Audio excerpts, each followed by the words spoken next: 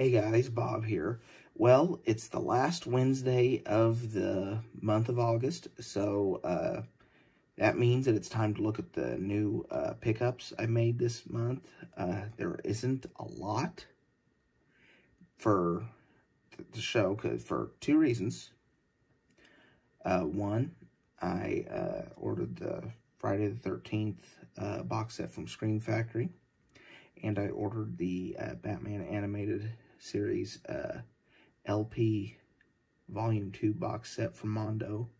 And that took a big chunk out of the budget for collecting things. Uh, don't get me wrong, I uh, wanted both items, and I'm glad I snatched them up. But uh, I did put a crimp on um, my uh, what I budgeted for spending on other things. Plus, I uh, had to make a farm-related purchase this month.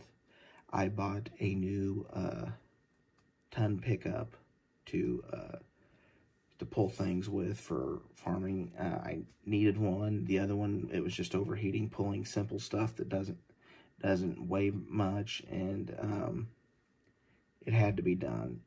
And yeah, I did buy it. I know a lot of people out there saying, oh, you bought a new truck just for work. Well, you got to realize um, I bought this truck with the idea that I'm going to get 25 or 30 years out of it, assuming, of course, it's not a lemon.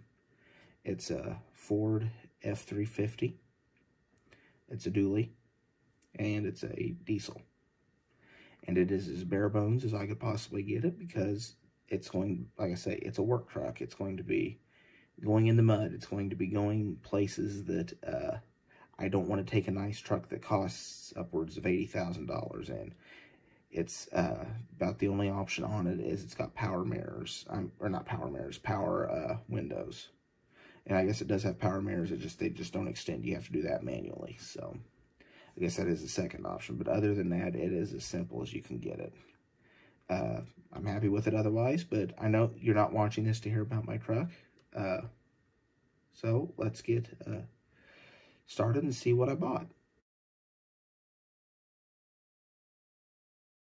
Unfortunately, there are no 4K uh, UHD discs I picked up this month, nor are there any laser discs. I did pick up one video, uh, Excalibur. I paid 99 cents for it. I haven't opened it or anything to see how condition the actual tape is. Uh, it was This isn't the factory shrink wrap. It's the shrink wrap from the place I bought it. But, uh, I'm a fan of the movie Excalibur, so I thought 99 cents. And again, this is one I had pre-fire. Uh, so it was, to me, it was a no-brainer to pick it up because it was this exact edition. If nothing else, I needed it for nostalgic purposes. Had a steel book. I picked this one up. This is the Total Recall remake with uh, Colin Farrell and Kate Beckinsale and Jessica Biel. Okay, there's the back cover.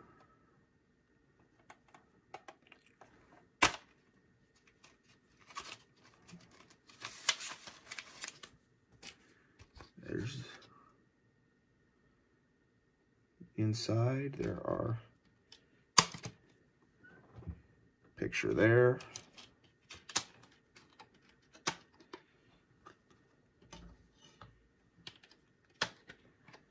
And the picture there.